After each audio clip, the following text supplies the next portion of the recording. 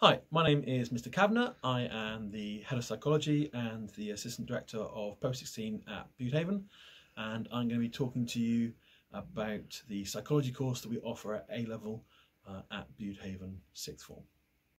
So, what is psychology about?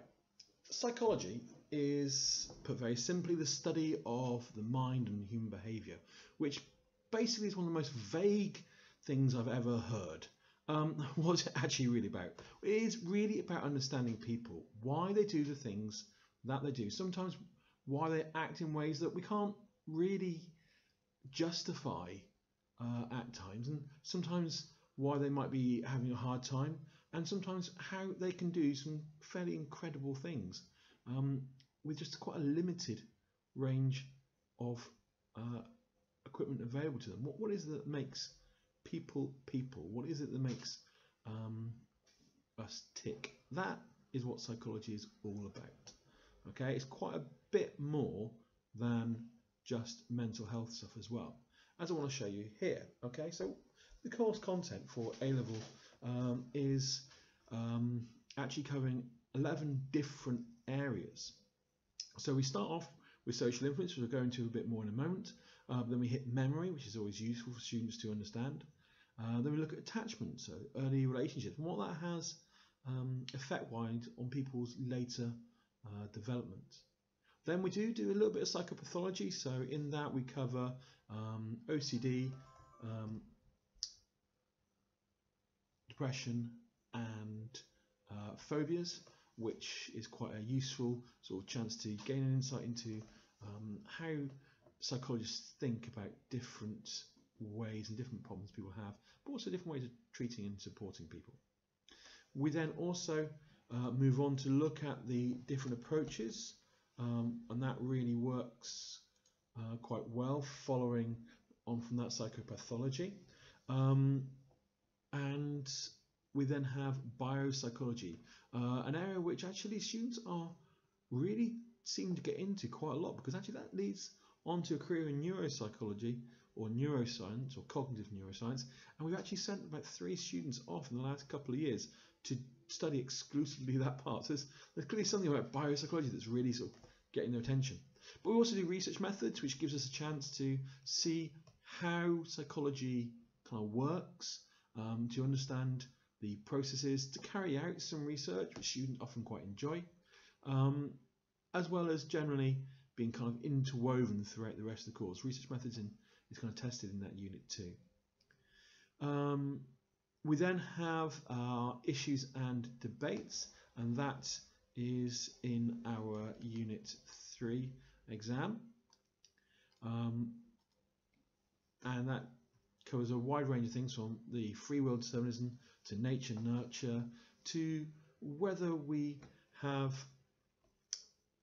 a, uh, a need for research to be culturally aware when it comes to being conducted? And, and can we conduct research from outside of our own culture? Is that right? Um, so yeah we have, have, a look at those. Um, and that's in the issues and debates that's quite useful. Um, and then we go on to the last three uh, what we refer to as optional topics um, of relationships, schizophrenia, and forensic psychology, um, all of which have proved firm favourites with the students over the years. Um, but ironically, people tend to actually love the thought of forensic psychology, but by the time they finish the course, their biggest favourite is normally relationships. Um, so yeah, but how, how is it um, tested? So let's have a look. So A-level psychology.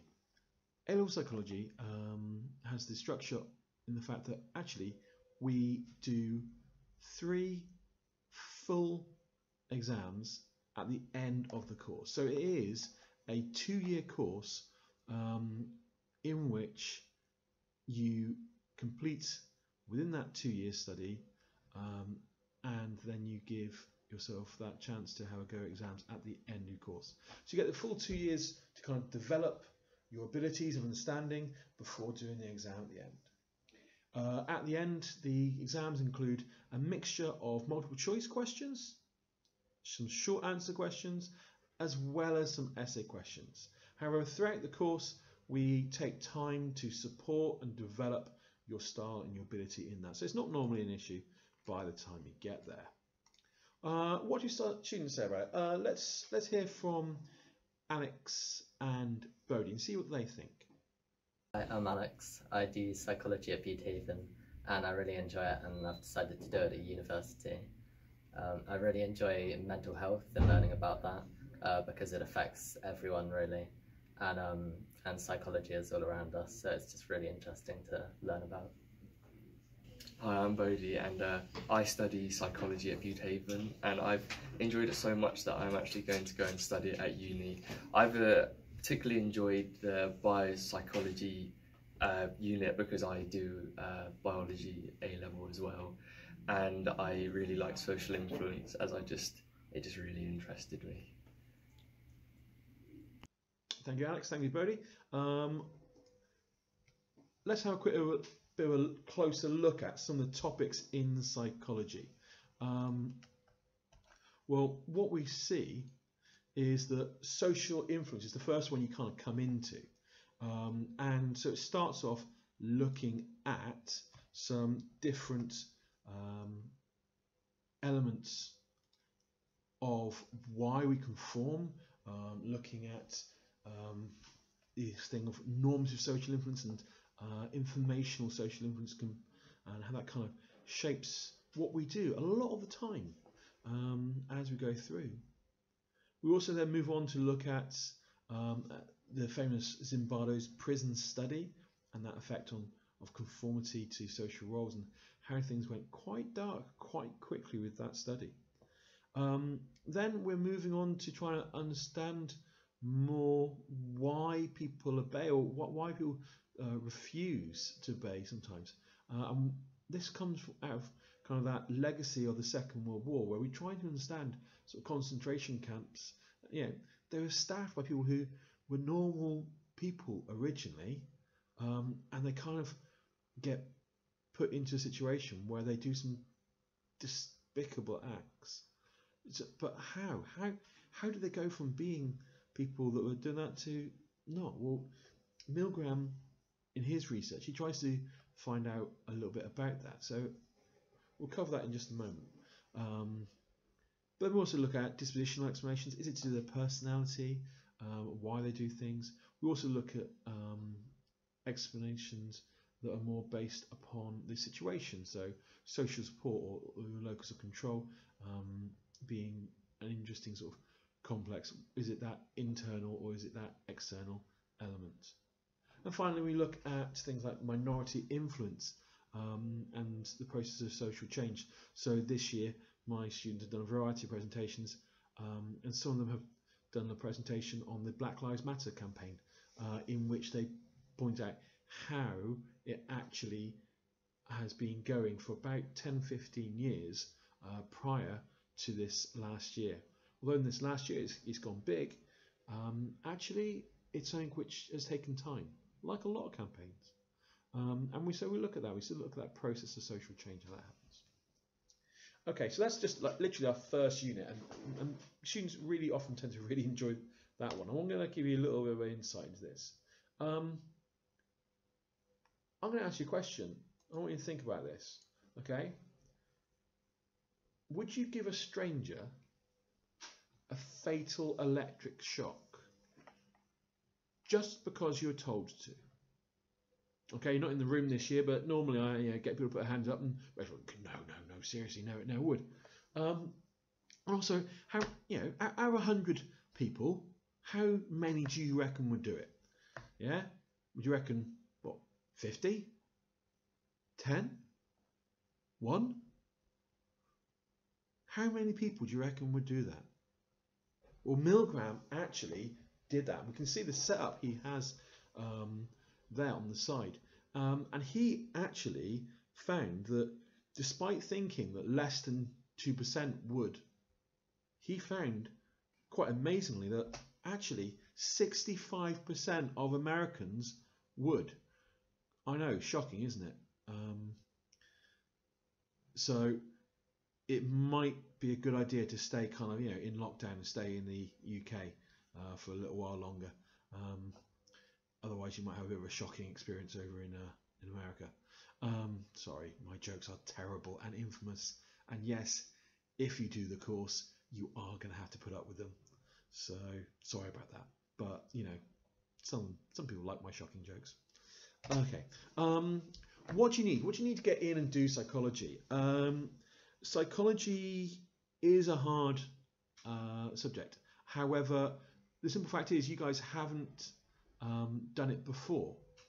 So looking at how students tend to go on and succeed, uh, who tend to struggle, um, we've got this criteria here.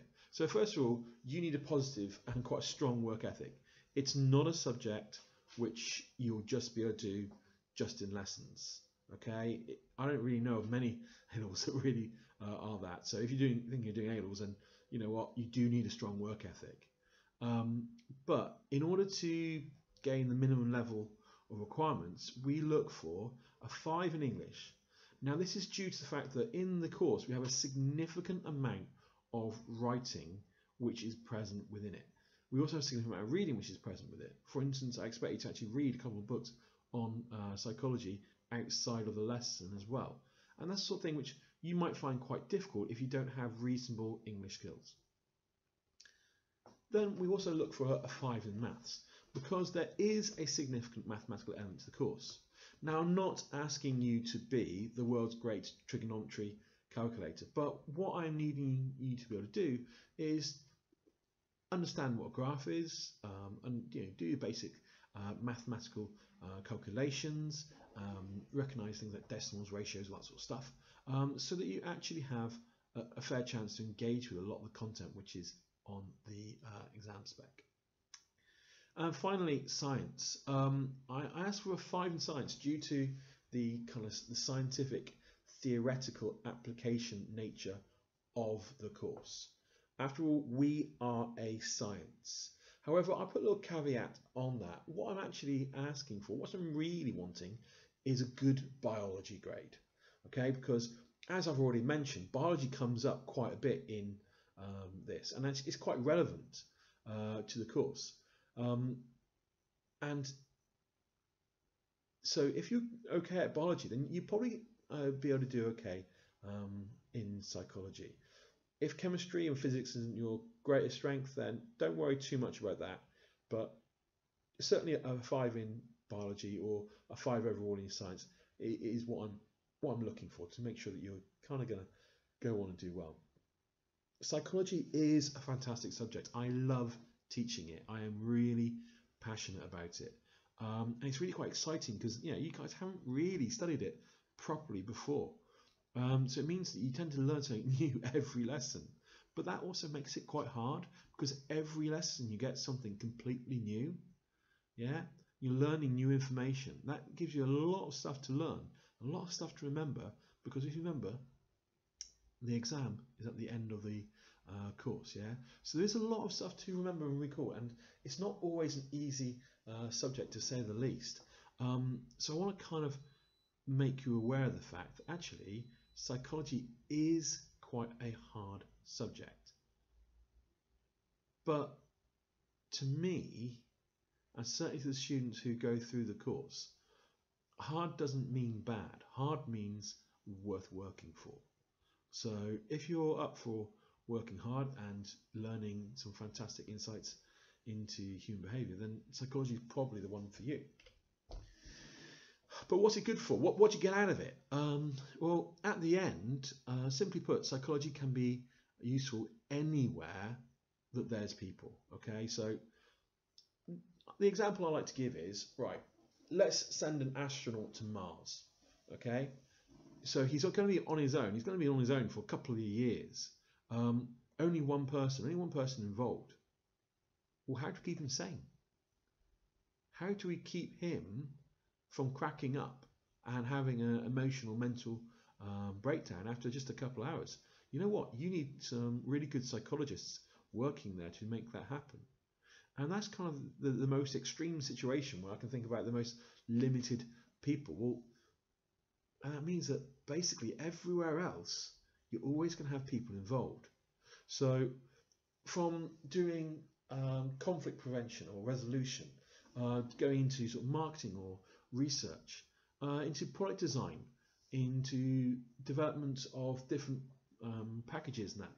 Ultimately, it's all about people and thinking about how the people will engage with it. Um, that's always useful. We also have, you know, working with other people. So it might be um, anywhere from looking at something like mental health, you know, mental health care um, and looking after people there and counselling, um, through to research psychology. Um, and that's actually really a big and very interesting area to go into. As you go through the course, you realise just how wide it is.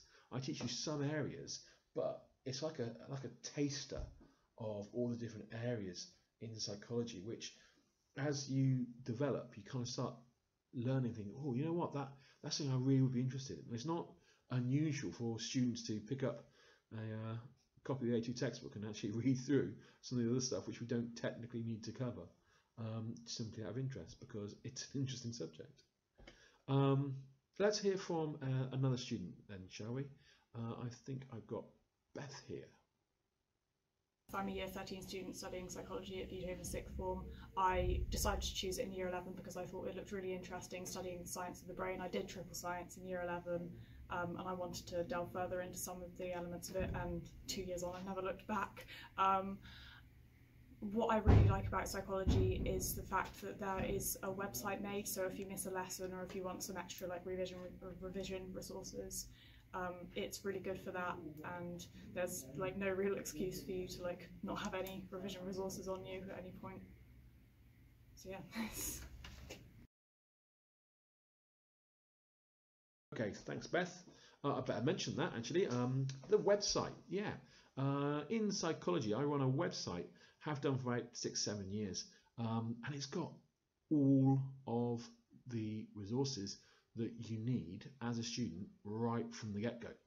Um, my students tend to love this over time because it it just makes your life so much easier uh, and it, it gives you so much more um, information and so many more resources than even I can remember that I have that I've made or that I've um, tracked down for you. So I mean if you look down there you've got anything from the 16 markers, so I've got examples there to um, study support sessions. So, you know, a plan for anyone's which, if they're not doing so well, I try and put in some support there. Uh, I've got the psychology book report, for which is my um, year 12 to the year 13 transition project. We also tend to send students over to Auschwitz, Birkenau to have a look there. That's always interesting. Um, we've got some year 11 prep work, which if you decide to take um, this, I would recommend you have a go at because it's quite interesting, gets you going. Um, but then also it goes down into things like you know knowledge organisers, exam papers, revision aids, um, onto the information about the different units we've got um, there, which in those unit one, two, and three actually contains all the different uh, PowerPoints for all the lessons, along with all the handouts as well. So you know what? You're in pretty safe hands. You've got a lot of stuff there for you.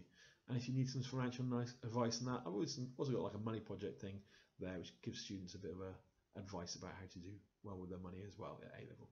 So um, that's just the extra bits on the website. Um, not to mention the inspiration, which is a huge section too.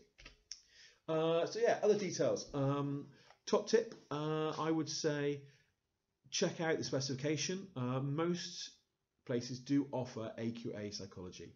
Uh, the most popular and we do the A level, the full A level at um.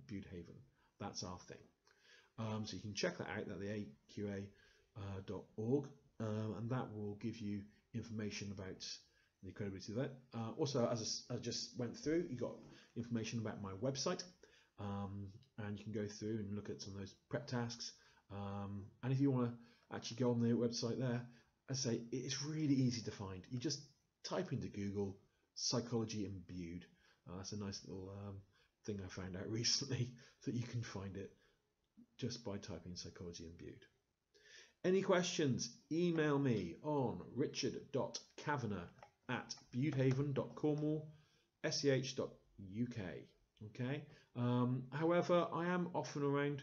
Um, obviously, during this year, um, might be harder to find me, so you might want to drop me an email or arrange to um, meet me uh, in the hall, and I can go through things there if you want to ask ask any questions. Um, but if you're a parent and you want to have a chat uh, about those things, again, just drop me an email, and I'll happily talk you through some different uh, bits and pieces as soon as I get a chance.